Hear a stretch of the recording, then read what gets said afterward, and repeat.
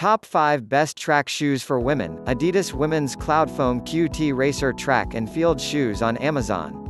1. Adidas Women's Lite Racer RBN Running Shoe.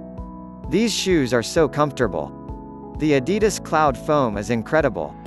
These aren't the thickest foam I've felt, but there's plenty to make your feet feel like they're being hugged all day.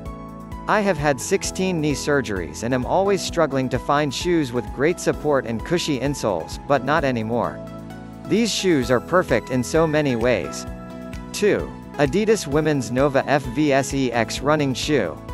They are made a size too big. Size down. I wear an 8.5 and bought a 7.5.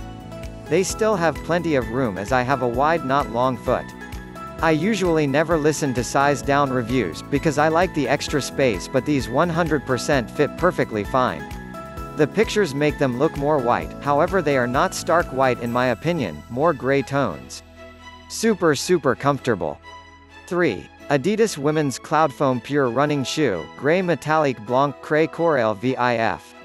So comfortable. For errands, definitely not an actual running shoe.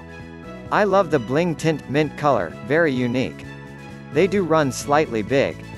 I ordered a 6.5 and I'm pretty true to my size. I could have ordered a 6 in these and been a little better off, but I'm keeping G them anyways. I'll order another pair for sure. 4. Adidas Women's Cloudfoam Pure Running Shoe. I had already tried these shoes on and loved them, however, they didn't have my size. So I came home, and here they were on Amazon for a better price. Do keep in mind that when ordering Adidas runners, they do run on the large size so order at least a half size lower than what you would normally wear.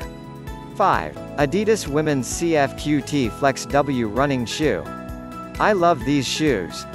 They are great for everyday wear.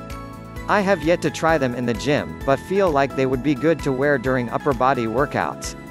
I don't know if the memory foam is the best for leg days but we will see. Overall, really happy with these shoes. All these product available on Amazon.